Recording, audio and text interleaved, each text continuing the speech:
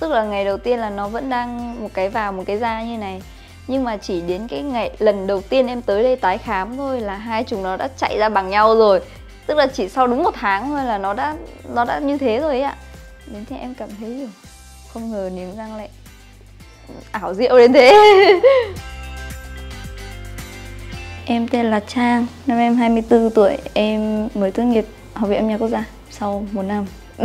Em có một chiếc răng cửa nó nó hơi thụt vào bên trong. Nên em niếng để kéo ra cho đều. Em không biết cười luôn. Em không bao giờ em cười nhe răng luôn á. Thực ra thì mọi người thì bảo là nhìn nó bình thường, Nhưng mà bản thân mình thấy nó không xinh. Cho nên em không dám cười. Thì bây giờ em cũng đã chưa biết cười lắm. À đúng rồi, em niềng, em niềng pha lê Em thấy nó có một ưu điểm rất là hay là em niềng nhưng mọi người không biết là em niềng. Mặc dù là niềng pha lê thì cũng nó cũng dày lên, nó cũng cộm lên. Chung là kiểu cũng không quá lộ Một năm luôn ấy hình như tháng trước em làm vào ngày 31 tháng 8 thì hôm nay nói chung là gần gần tròn một năm. Cái hôm đầu tiên mà em được bác sĩ tư vấn thì ừ, thời gian em tháo niềng là nó chuẩn gần như là từng ngày luôn. Và bác sĩ nói em sẽ niềng trong vòng 12 tháng thì tháng 8 là đúng tròn 12 tháng luôn.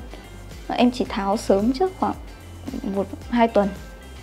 Ừ, vì em có việc riêng. Từ hôm qua đến giờ luôn chị kiểu nói chung là cứ nghĩ đến tháo niềng là em thấy vui rồi. Em đợi ngày này đúng tròn một năm luôn không thiếu một ngày nào. Em chỉ mong được tháo niềng thôi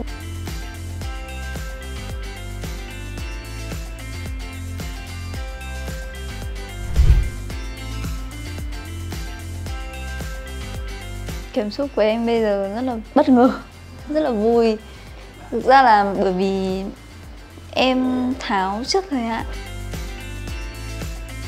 chắc chắn là em sẽ tự tin hơn rất nhiều. Ừ, và bởi vì công việc của em, nghệ thuật của em thì cần sự tự tin và em tin là sau khi em niềng răng xong thì em sẽ có lại cái sự tự tin đó. Tức là ngày đầu tiên là nó vẫn đang một cái vào, một cái ra như này nhưng mà chỉ đến cái ngày, lần đầu tiên em tới đây tái khám thôi là hai chúng nó đã chạy ra bằng nhau rồi. Tức là chỉ sau đúng một tháng thôi là nó đã nó đã như thế rồi ấy ạ. Đến thế em cảm thấy không ngờ niềng răng lại ảo diệu đến thế. Em không bao giờ hối hận với quyết định niềng răng của em. Em còn nghĩ là lẽ ra là mình nên sớm niềng sớm hơn.